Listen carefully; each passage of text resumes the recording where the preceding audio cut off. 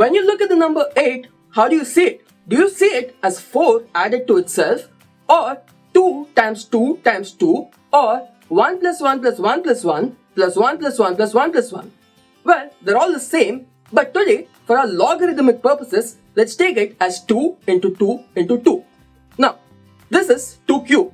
From exponents, we know that this value is 8. Now, logarithms is basically like the inverse of exponents. Let me tell you how. You see, in logarithms, there's a base for everything.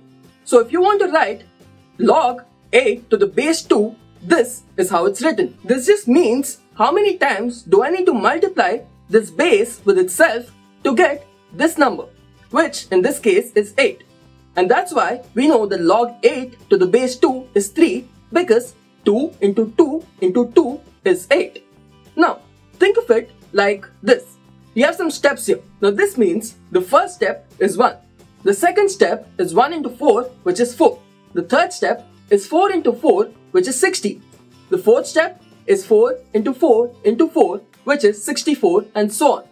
Now logarithms is about these number of steps.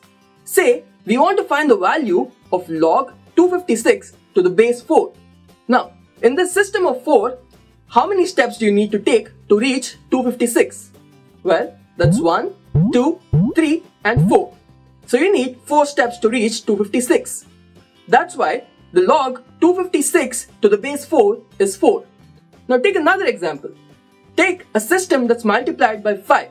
In this system, if you want to reach 3125, that means log 3125 to the base 5, how many steps do you need? You need 1, 2, 3, 4 and 5. That's why log 3125 to the base 5 is 5. So what have we learned in this video? We have seen an introduction to logarithms and what logarithms actually mean. So until next time, happy learning!